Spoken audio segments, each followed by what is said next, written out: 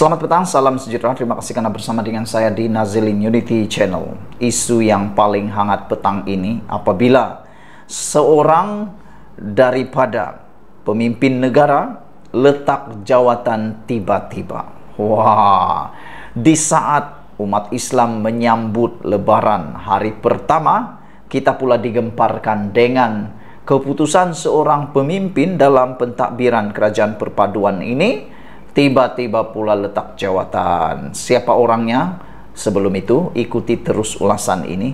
Bagi yang kali pertama, sila tekan butang subscribe untuk mendapatkan isu-isu terkini daripada saya dan untuk mendapatkan uh, koleksi berita daripada saya. Saudara-saudara sekalian, hari ini disahkan bahawa Ketua Penerangan Muda meletakkan jawatan pegawai tugas-tugas khas Hanayo. Wah, ini memang mengejutkan kita semua. Apa sebab Ketua Penerangan Muda ini letak jawatan? Bukankah jawatan itu amat baik? Ah, itu persoalannya. Ketua Penerangan Parti Ikatan Demokratik Malaysia Muda, Lukman Long, mengesahkan sudah meletakkan jawatan sebagai pegawai tugas-tugas khas strategi kepada Menteri Belia dan Sukan Hanayo. Menurut Luqman, notis mengenainya sudah dimaklumkan kepada pejabat Menteri Belia dan Sukan sejak dua minggu lalu dan berkuat kuasa dalam tempoh sebulan selepas penyerahan notis berkenan. Yang menjadi ulasan saya pada petang ini ialah mengapa Luqman Long ini meletakkan jawatan. Bukankah lebih baik beliau terus berada dalam kerajaan untuk membantu parti muda dikenali di seluruh negara? Dengan peletakan jawatan beliau sebagai uh, pegawai tugas-tugas SAS ini, menjadi persoalan sekarang ialah apalagi keterlibatan parti muda di dalam kerajaan perpaduan ini. Sedangkan untuk menjadi parti yang kuat, terutamanya parti muda yang masih setahun jagung ini, mereka sepatutnya lebih kukuh bersama kerajaan.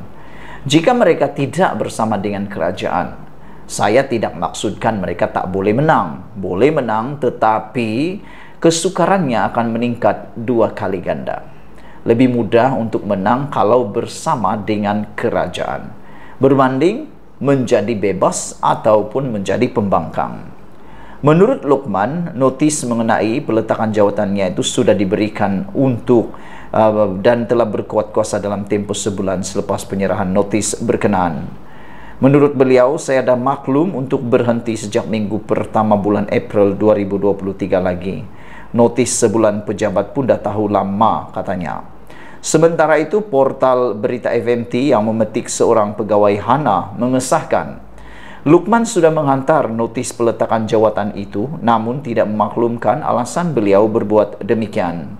Peletakan jawatan itu seolah-olah memperlihatkan hubungan renggang antara muda yang juga rakan kerjasama dalam kerajaan perpaduan dengan Pakatan Harapan PH dengan pemimpin muda kerap mengkritik atau menzahirkan rasa tidak puas hati pada pentadbiran kerajaan secara terbuka.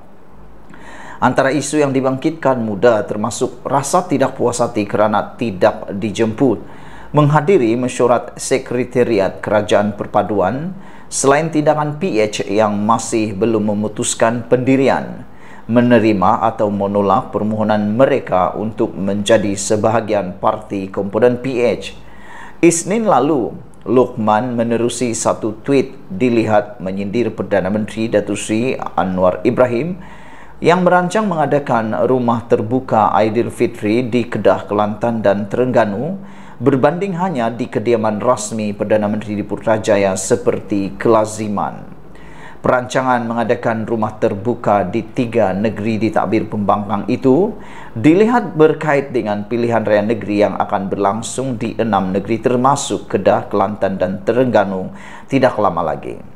Bayangkan reaksi jika Ismail Sabri Yaakob, bekas Perdana Menteri Datuk Seri Anwar uh, Datuk Seri Ismail Sabri Yaakob anjurkan sambutan raya di enam negeri, tujuh negeri, kata Lukman dalam tweet berkenan.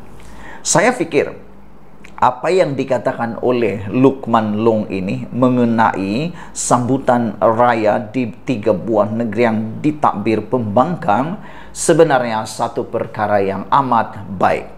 Ada dua perkara yang saya pikir menjadi faktanya. Yang pertama, ini untuk merapatkan kerajaan perpaduan antara kerajaan persekutuan dengan kerajaan negeri. Saya tidak bercakap tentang politik. Saya bercakap tentang keakraban kerajaan persekutuan dengan kerajaan yang ada di kerajaan negeri.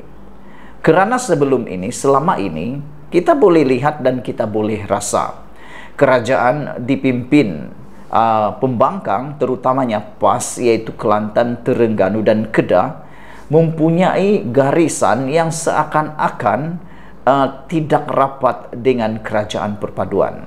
Dan saya fikir rakyat di negeri itu juga mungkin selama ini menerima perkara yang belum pernah mereka tahu sebelum ini.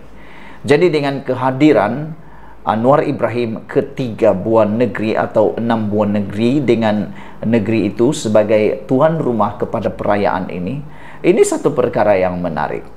Ini satu usaha yang sangat baik di luar sisi politik, ini satu keuntungan buat negeri-negeri tersebut. Cubalah berfikir secara positif.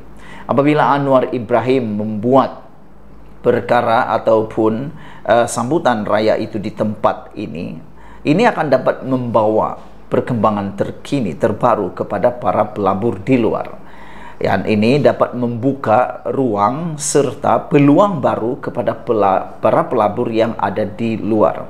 Sama ada luar negeri atau dalam negeri. Mereka pasti akan dapat mula melihat bahawa negeri-negeri yang ditakbir oleh pembangkang terutamanya PAS ini sebenarnya berpotensi besar untuk dimajukan lagi.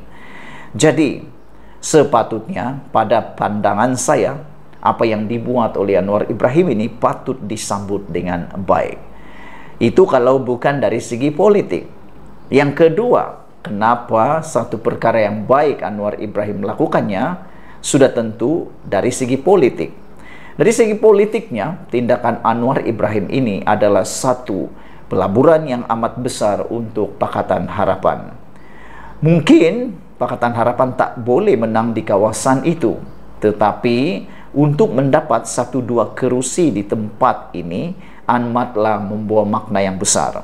Dengan adanya kemenangan baru di kawasan-kawasan pembangkang terutama PAS ini, mereka mungkin, Anwar Ibrahim mungkin akan menyuntik banyak kemajuan di kawasan tersebut.